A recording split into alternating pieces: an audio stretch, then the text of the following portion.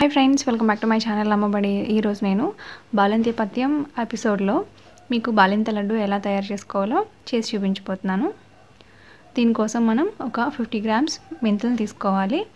అదేవిధంగా ఒక hundred grams జీడిపప్పు తీసుకోవాలి. ఒక ఫిఫ్టీ గ్రామ్స్ సోంపుని తీసుకోవాలి. హండ్రెడ్ గ్రామ్స్ బాదం పప్పుని తీసుకోవాలి. ఒక త్రీ హండ్రెడ్ గ్రామ్స్ బెల్లంని తీసుకోవాలి. టేస్ట్ కోసం కొంచెం ఇలాచీ పౌడర్ని తీసుకోవాలి. ఇప్పుడు మనం ప్రాసెస్లోకి వెళ్దాం. ఫస్ట్ ఇప్పుడు మనం ఇలా బాణీ తీసుకొని దానిలో బాదం పప్పు జీడిపప్పు ఈ రెండింటిని కూడా వేసి కొంచెం ఫ్రై చేసుకోవాలి. కొంచెం ఫ్రై చేసుకుంటే సరిపోతుంది. ఇలా ఫ్రై చేసుకున్న తర్వాత దీనిని మిక్సీ జార్లో తీసుకొని ఒక మెత్తటి పొడిలాగా మనం ఆడుకోవాలి. చూసారు కదా? ఇలా మనం మెత్తగా గ్రైండ్ చేసుకొని ఒక పక్కన పెట్టుకోవాలి. తర్వాత ఇప్పుడు మనం మెంతులను కూడా తీసుకోవాలి. ఈ బాలింత లడ్డూలో మనం మెంతులు వాడడం వల్ల ఏంటంటే పాల ఉత్పత్తి అనేది బాగా పెరుగుతుంది. నెక్స్ట్ ఇప్పుడు మనం సోంపు కూడా వేసుకొని ఈ రెండింటిని బాగా వేపుకోవాలి. సోంపు తర్వాత మెంతులు ఈ రెండింటిలో కూడా పాలని వృద్ధి చేసే గుణాలు అనేవి ఎక్కువగా ఉంటాయి. చూసారు కదా? ఇలా కొంచెం బ్రౌనిష్గా అయ్యే వరకు వేపుకోవాలి. ఇలా వేపుకున్న తర్వాత వీటిని ఒక మిక్సీ జార్లో తీసుకొని మెత్తగా పొడిలాగా ఆడుకోవాలి. ఇలా ఆడుకున్న తర్వాత ఒక పక్కన పెట్టుకోండి. ఇప్పుడు మనం ఇలా ఒక బాణీ తీసుకొని కొంచెం నెయ్యి అనేది వేసుకొని మనం ఇందాక బాదం జీడిపప్పుని గ్రైండ్ చేసి పెట్టుకున్నాం కదా ఆ తురుముని వేపుకోవాలి. కొంచెం బ్రౌనిష్గా అయ్యే వరకు కూడా వేపుకోవాలి. ఇలా వేపుకోవడం వల్ల ఏంటంటే మనకి ఆ లడ్డు అనేది బాగా టేస్టీగా ఉంటుంది.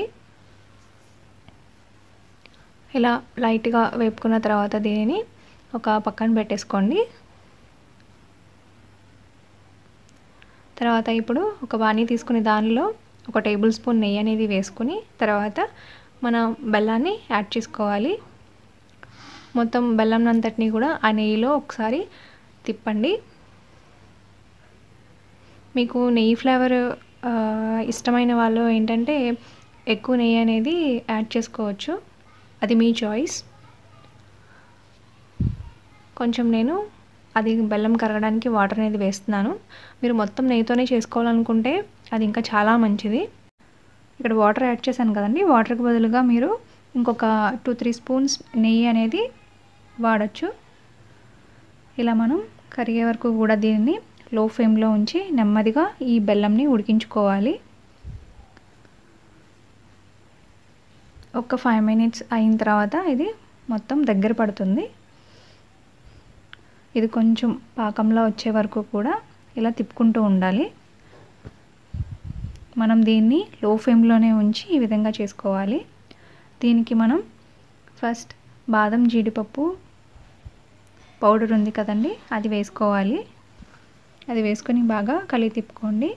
ఫ్లేమ్ మట్టికి ఆర్పకూడదండి. ఫ్లేమ్ ఎప్పుడైతే ఆర్పేస్తామో అది ఈజీగా గడ్డ కట్టేస్తుంది ఆరిపోతుంది.